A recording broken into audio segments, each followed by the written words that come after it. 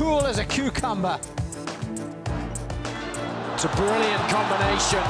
What a ripper. He is looking strong. Big celebration for Murray.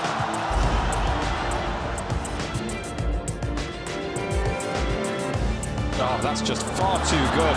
Brilliant feel at the net. Oh, this tennis is the stuff of dreams from Nishikori. Oh,